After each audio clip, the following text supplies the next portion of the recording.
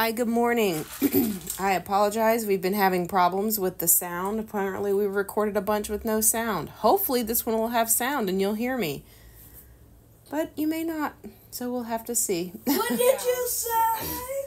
Um, so we're on page 238 of the Mystery of History, going over the women's fight to get um, voting rights. And we said in my last one, which I thought was super important because I was stepped up on my soapbox, but I'll give you a brief one sentence um, summary, which is that the re- femini- feminism or this big push for women to have equal rights is was a result of the church failed to properly demonstrate how to love women and to dim or not to properly but to demonstrate how to properly love women. There we go. And because they didn't love women well the world took up the cause. And because the world took up the cause to give women the equal rights well the cause swung to an extreme. And uh, here we are now with the world fighting for uh, people being able to choose whether they will be a male or a female against the will of God. Okay, that was a brief summary. I won't step back up onto it. You'll have to decipher my words through the silence of my last video. okay, so just now we were talking about the parade and Inez Milhol, no, sorry, Milholland. Um, despite and then um, also that that the women had been attacked and the police officers just stood by. So despite the first parade, there were more parades and more women joined the fight. Understandably, but sadly, the American movement divided again in 1914 over just how militant the women's movement had become. There was a more moderate group, and they were led by Carrie Chapman Catt. That's three C's in a row. She organized women to work by to work state by state. So I guess they're going state to state, while Alice Paul and Lucy Burns continued to fight on the national level. In DC.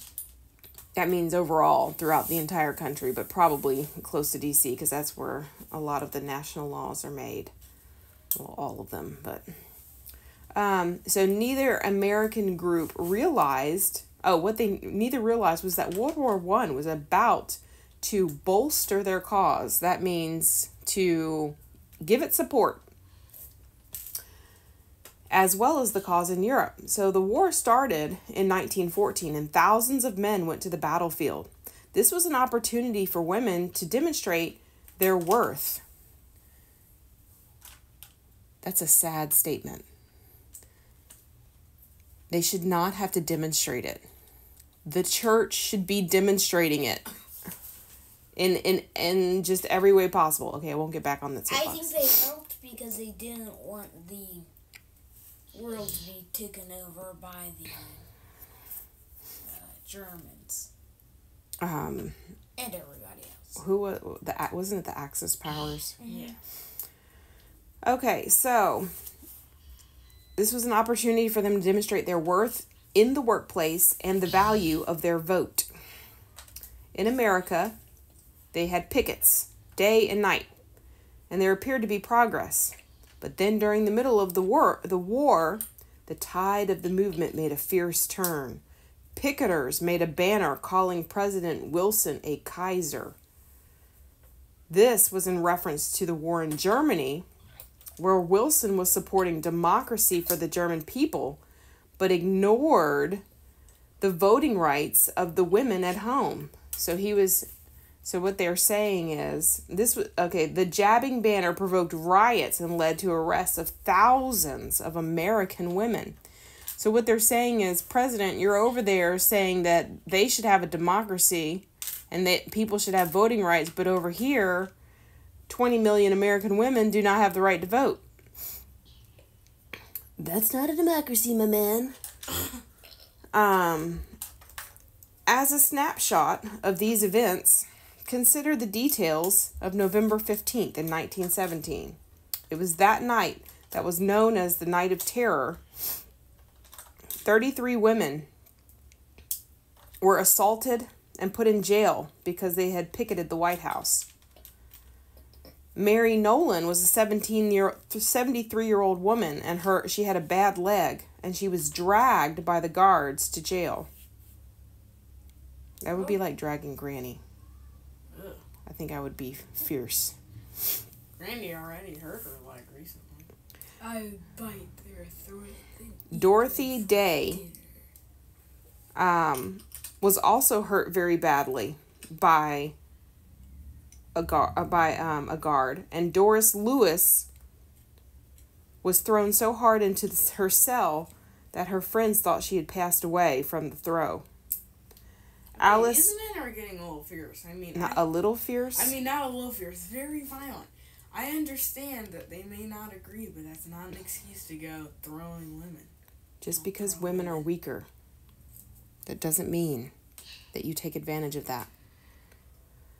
In fact, it means you stoop. You carry the women. You don't drag them. Alice Cosu. Um, well, I'm not, I can't go into all these. I'm trying to say them as delicately as I can. Alice Cosu also fell ill because of the experience. Now, Lucy Burns was, who we talked about just a minute ago, was sh- uh, shackled with her hands above her head for the entire night. And then they removed her clothes and only gave her a blanket.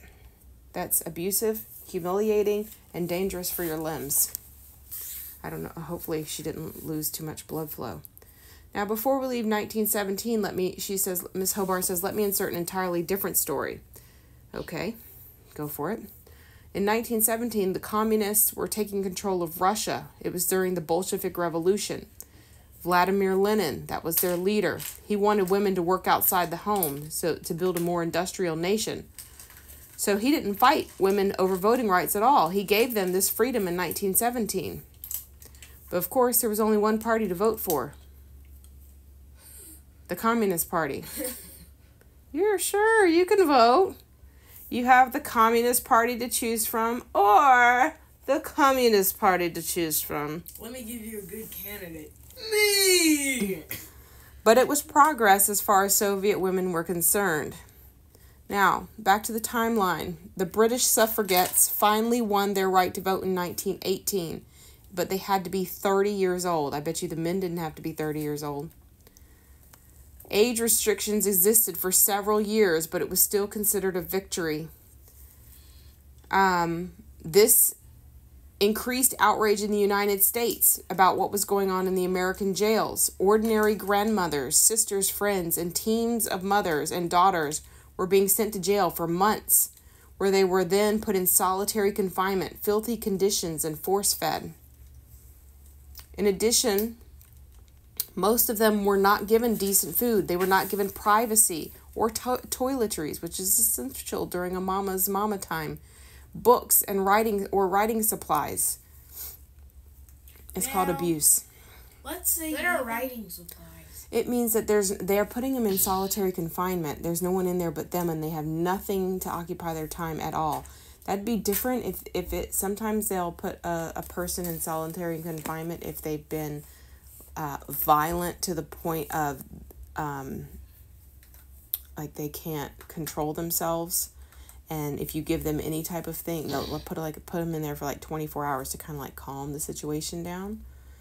Um, now there is a lot of abuse happening in prison. I don't want to say say there's not but there is. Um, but here they haven't done that. You know uh, you can't give a, a prisoner a pen uh, a pencil who's going around trying to hurt people at all with anything possible Now let's say even if no, we got to keep going. Um, fortunately, these brutal conditions were not a waste because stories of these this barbaric treatment was circulating in the U.S. and President uh, Wilson was practically forced to support the women's right to vote in 1918. Well, that's sad that you were forced to do it. I'm pretty sure that I read that President Wilson actually agreed with him. Well, um, we'd have to see where you read it. After even more arrests and more arrests, let me see. Because he didn't support it one year before. Um, we'll have to look into it because it says for. So I mean, it may say that he gave a speech supporting it, but that might have been his. He was forced to do it. More like he was under so much pressure. He was like, okay, I support the women's right to vote. I don't know for sure, but.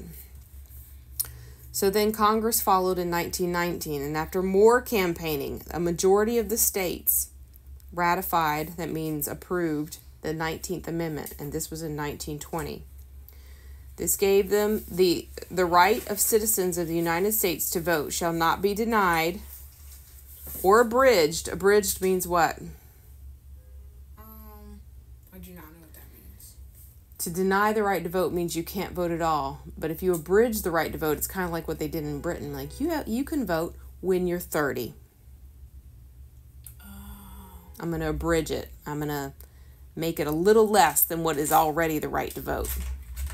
You can vote on issues that concern the household. Which dish soap should we use? You can vote on that. That type of thing. You already vote on that. Um, no, they mean never mind. Okay, it saddens me that most of the pioneering women, and she that's Miss Hobar speaking, not Julia, uh, who started the movement in Great Britain and the United States did not live to see the victory of their very difficult work.